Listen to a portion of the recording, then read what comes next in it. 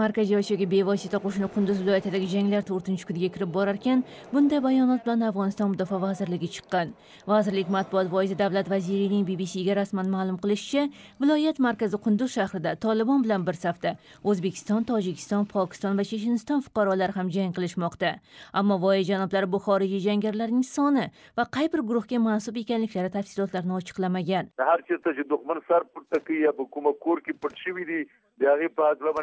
Har har joydan dushman bosh ko'tarsa va yo ham u yerlarda yoshinib qolgan bo'lsa ularga qarshi tozalash amaliyoti davom etmoqda.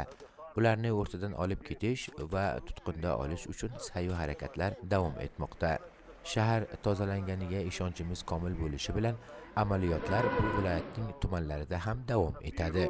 د ولسوالیو په لور به دې تثبیت ته ادامه ورکړي o'tgan yil tolibon bilan ittifoqchilikda qunduz shahrini bir muddatga bosib olgan va aksariyat markaziy osiyolik ekani aytilgan xorijiy jangarilarni esa viloyat mas'ullari ishid yoki doish guruhi a'zolariga nisbat berishgandi sonlari bir necha yuz nafar ekani aytilgan bu jangarilar o'shanda toliblarga boshchilik qilishgan va harakatning ikki ming birinchi yildan buyongi eng yirik g'alabasini qo'lga kiritishini ta'minlashgandi afg'onistonda faoliyatda bo'lgan ishid yoki doish guruh saflaridagi markaziy osiyolik jangarilar aksariyatini o'zbekiston islomiy harakati a'zolari tashkil etishadi.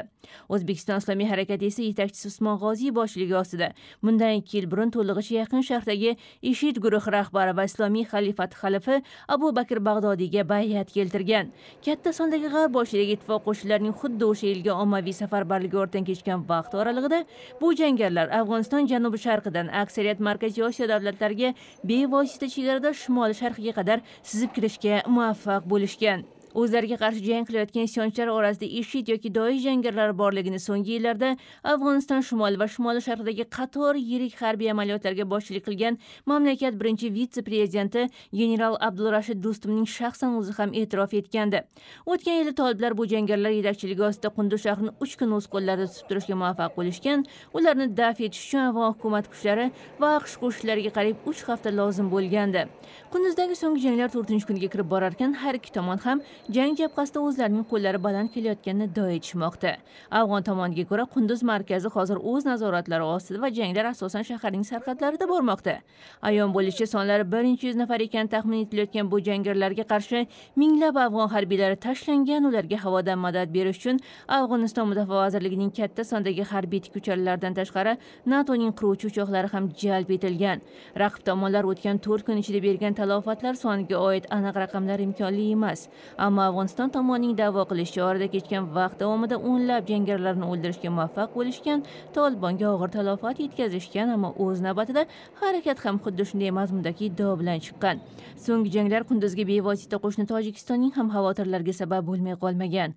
Tojikiston rahbariyati afg'oniston bilan o'zaro chegarasidagi barcha qo'shinlarni harbiy tayyorgarlik holatiga keltirishga qaror qilgan. Xabarlarga ko'ra afg'onistondagi bugungi holat prezident emomali rahmon va kollektiv xavfsizlik shartnomasi tashkiloti bosh kotibi dushanbedagi muzokaralarning ham bosh mavzularidan biri bo'lgan. Qunduzdagi vaziyat sabab tojikiston so'nggi ikki yil ichida afg'oniston bilan o'zaro chegarasida favqulodda xavfsizlik choralariga qo'l urgan bunaqasi tojikiston mustaqilligi tarixida kuzatilmagani ham aytilgandi.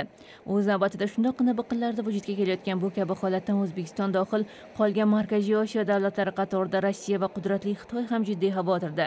Aqsh davlat kotibi jon kerri esa donor davlatlarning to'rtinchi beshinchi oktyabr kunlari bryusselda bo'lib o'tgan va afg'onistonga milliardlab dollar qo'shimcha moliyaviy ko'maklar va'dasi yangragan yirik xalqaro anjuman chog'ida tolibon harakatini yana bir bor afg'on hukumati bilan rostmana sulh madoriga borishga undagan. Tolibon harakati esa afg'on tuprog'ida bitta bo'lsa ham xorijiy askar qolarkan hech bir tomon bilan muzokaralar olib bormasligini ta'kidlab keladi.